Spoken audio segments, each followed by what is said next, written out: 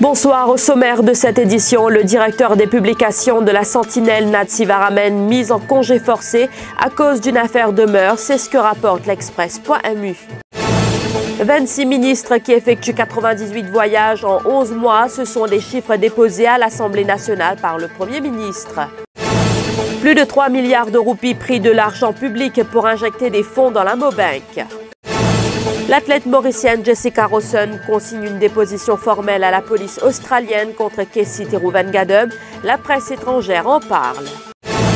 À l'île de la Réunion, le piton de la fournaise est entré en éruption. Le directeur des publications de la Sentinelle, Natsi Varamen, a été mis en congé avec effet immédiat. C'est la direction de la Sentinelle Limitée qui lui a demandé de se mettre en congé. C'est ce que rapporte le site l'express.mu. Cette décision a été prise après que de graves allégations ont été formulées à l'encontre de Natsi Varamen par son ancienne conjointe Audrey Harel. Cette dernière a juré un affidavit hier dans lequel elle réclame la garde immédiate de leur enfant.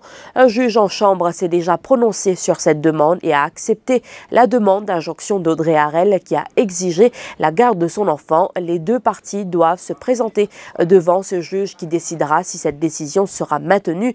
Dans un communiqué émis ce mardi après-midi, la direction de la Sentinelle affirme que toute personne est innocente jusqu'à ce qu'elle soit trouvée coupable et ajoute que toutefois la gravité des allégations a conduit à la mise en congé de Nadsi Baramen. C'est Philippe Fongette, président du conseil d'administration de la Sentinelle, qui assurera l'intérim au poste de directeur des publications du groupe. Intéressons-nous au voyage de nos ministres. 26 différents ministres ont effectué un total de 98 missions de décembre 2016 à octobre 2017, soit durant une période de 11 mois. La liste de ces missions a été déposée par le Premier ministre à l'Assemblée nationale en réponse à une question du député Rajesh Bhagwan. C'est le ministre des Affaires étrangères, Vishnu Lachminaraidu, qui a voyagé le plus, soit à 13 reprises, suivi du ministre du Tourisme, Anil Qui s'est lui rendu à l'étranger en huit occasions, Rosaina Bigun. La question portait sur le nombre de missions effectuées par tous les ministres du gouvernement, la durée de ces déplacements, les pays visités, les coûts de ces voyages, de quelle agence de voyage les billets d'avion ont été achetés, ainsi que le montant des podiums et autres allocations. Toutefois, cinq mois après, l'information déposée ne contient pas le coût de ces 98 missions, ni le montant des podiums et allocations déboursées des fonds publics. Le document révèle que le Premier ministre a effectué trois missions durant ces 11 mois. Sa participation au sommet de l'Union africaine et sa visite en Inde ont été partiellement financées par les pays hôtes. Une seule mission officielle de l'ex-vice-premier ministre Soudan est enregistrée, plus précisément le Joint Committee sur l'hydrographie en Inde en mars 2017. Le ministre des TIC, Yogida Sominaden, a lui sept missions à son compte, principalement des conférences sur la technologie et l'innovation. Sept déplacements également pour les ministres Lila Devidouken et Anwar Husnu, alors que les ministres Fazila Djiwa Doriao et Prem Kunju se sont rendus à l'étranger à six reprises durant ces 11 mois. 3,2 milliards de roupies du Consolidated Fund injecté dans la Mobank. C'est ce qu'a déclaré Pravin Jugnut lors de la Prime Minister's Question Time. Il répondait à une question du député Adil Yarmiya. Le Premier ministre confirme l'intérêt du groupe Induja pour le rachat de cette banque. According to records, government has, as at today, injected equity capital from the consolidated fund into the ex-National Commercial Bank Limited, the ex-Mauritius Post and Cooperative Bank Limited, and Mobank Holdings Limited as follows. Ex-National Commercial Bank Limited, 700 million rupees. Ex-Mauritius Post and Cooperative Bank Limited, 890 million rupees and Mobank Holdings and Mobank Limited 1.6 billion rupees. Madam Speaker, with regard to part B2 of the question, it is not envisaged at this stage to inject additional money from the consolidated fund into Mobank Limited. Le ministre Mentor a répondu à la private notice question du leader de l'opposition qui était adressée au Premier ministre, PNQ qui était axé sur les cas de brutalité policière. Le strip search sur David Gaiki n'était pas justifié, a concédé Sunny Rujagnut et la Human Rights Commission a recommandé des actions disciplinaires contre les trois policiers impliqués dans cette affaire. The Police Complaints Division concluded that there had been no act of police brutality committed upon Mr. DG during the time he was in police custody. As regards allegation of strip search, on the basis of evidence adduced during investigation, the Police Complaints Division found that the strip search was carried out in a humiliating manner.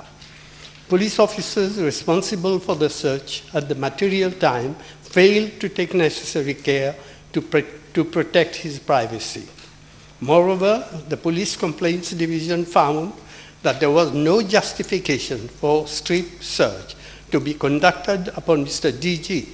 It is to be noted that the photograph of Mr. DG, which was published in several newspapers, showing him naked, was never produced to the Police Complaints Division, since the counsel who took the photograph refused to appear before the division to give evidence.